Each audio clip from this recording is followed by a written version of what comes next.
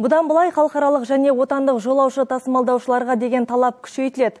Оған Ақтөбе облысында болған қайғылы жағдай бірден бір себеп. Еске сала кетейік, 18 қаңтарда Самара Шымкент тас жолында өртенген автобуста 52 адам тірідей жанып кетті. Кейін автобустың техникалық тексеруден өтпегені, әрі жолаушы тасымалдауға ешқандай лицензиясының болмағаны анықталған. Енді осы қайғылы жағдайдан кейін жолаушылар автобусы ғана емес, тасымал компаниялары да қатаң тексерістен өтетін болады. Действительно, сейчас рейдовая тотальная Ұйымның өзіне басшылар мен қожайындарына қояр сауал аз емес. Тексеру жұмыстары барлығын анықтайды деген ойдамыз. Десе де ішкі істер министрлігімен бірге біз жүйесіз тасымалдаушыларға қатысты заңды қатаңдату жайын қолға алмақпыз. Әрі ол заңмен бекітілуі тиіс.